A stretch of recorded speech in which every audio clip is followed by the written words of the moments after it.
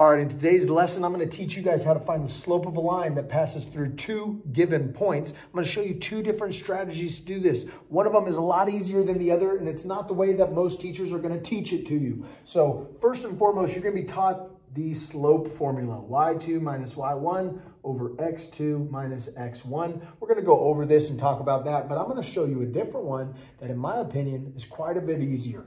Okay, so let's start with slope formula. We're basically taking our second y value, subtracting our first y value, and then on the bottom, we need to take the second x value, subtract the first x value. So you got an xy coordinate here, an xy coordinate there. First thing I tell my students to do is label xy, xy. So put that down, then just ask yourself which one of those coordinates was given to you first.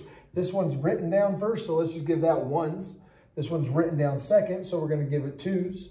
And now we have everything labeled, and so we should be able to just connect, say y2 is a 4, 4 goes right there. y1 is a 12, 12 goes right there. I recommend my students put down parenthesis minus parenthesis over parenthesis minus parenthesis before putting the numbers down. Okay, if you don't have parentheses, if you end up getting negative values in here, you're gonna have some struggles, some mistakes that might occur when you go into doing this, okay? So let's just take a look. Y2 is in the top left corner, Y1 in the top right, X2 in the bottom left, X1 in the bottom right. So what's my Y2? We labeled them so I can just go, there's Y2, the value is four.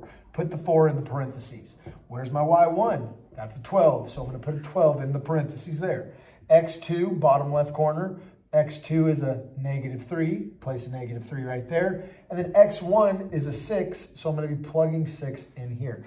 You have one, two, three, four spots to fill numbers in with, and you up here have one, two, three, four values. So you just got to make sure you put the correct numbers in the correct spots so that when you subtract, you're going to get the answer you're looking for, which will be your slope. It's your change in y over your change in X. And we're going to talk about that in the other strategy, which is much quicker in my opinion. Okay, 4 minus 12. What's 4 minus 12? You're taking away more than you have, so you're actually going to end up at negative 8. Negative 8 for that one.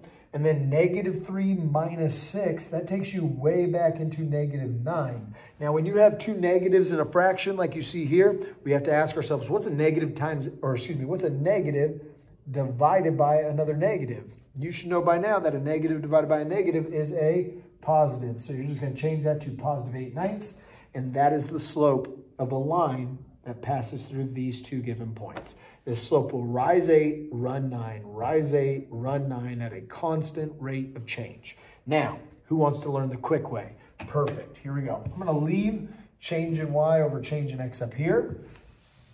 And I'm going to show you, for those of you that have a tough time putting these numbers in the right spot, just take 612 and put it into a table of values. 612. 612, 6 is the x, 12 is the y. Negative 3, 4. Negative 3, 4. Now you've made a table of values. If we're being told that it's a line that passes through these two points, we don't need any other information because we know it has to stay consistent. All we have to do is find our change in y values, that would be this, over our change in x values, that would be this. So how did I go from 12 to 4? Well, I went down 8, silly Billy. So I just say minus 8 over here off to the side, and 6 all the way to negative 3. That means I got to go down 9.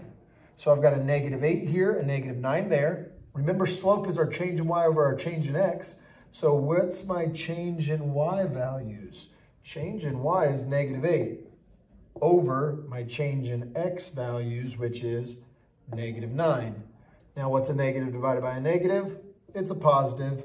And what do you know? We ended up getting the exact same slope as we did by using the slope formula. So do you have to use the slope formula? No, there are other techniques, other strategies. Some kids are a lot better at finding slope from a table of values. If you find yourself to be a better table person, use tables. If you don't mind the slope formula, put those parentheses down in those four sections, plug the numbers in, work it out, whatever makes the most sense to you. Use the strategy that's gonna benefit you the most. Hopefully this makes sense. Study hard and good luck on your upcoming test.